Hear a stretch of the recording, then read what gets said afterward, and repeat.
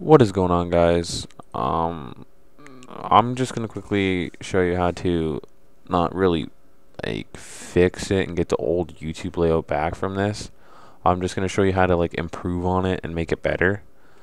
Um, so what you want to do, or what you're going to want to do is, uh, get this thing called Stylish, and it's an extension for Google Chrome. This yeah, this is only for Google Chrome, I guess.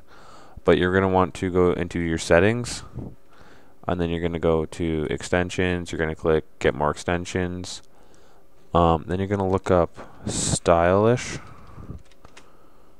And it's going to be this one and it's going to have this little emblem with the S as you can see. But you're going to just hit click add to Chrome. I already have it downloaded. So after you have that downloaded you go to the website you want to change the style of. And for this instance it's YouTube. So you're going to go here and you're going to click find more styles for this site and as you can see there's like a whole bunch of different styles you can have for it. Um, the one that I use to like for the new year YouTube is uh, this one right here. And it just it like spreads it all out. So you can actually like I don't know see all the videos. And it's not like just a blank screen in the corner.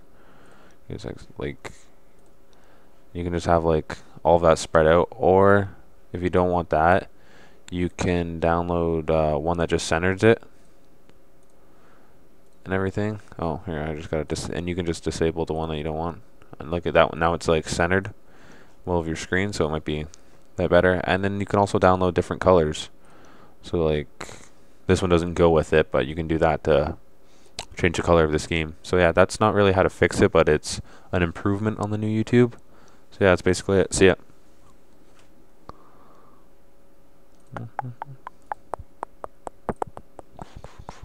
run, run, run.